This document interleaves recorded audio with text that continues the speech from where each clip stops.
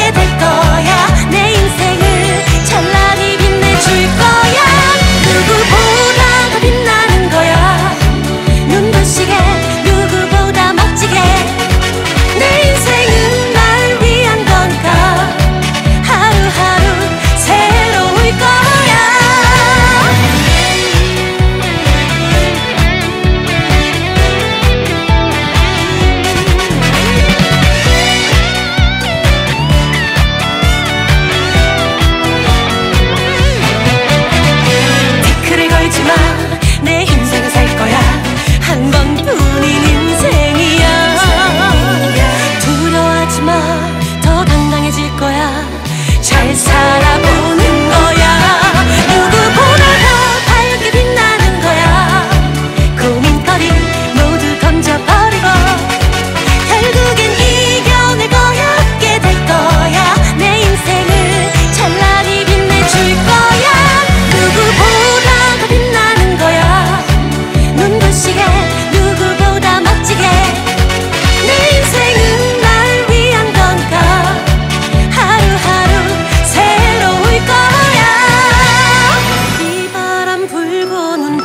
멈춰도 새로운 날이 찾아와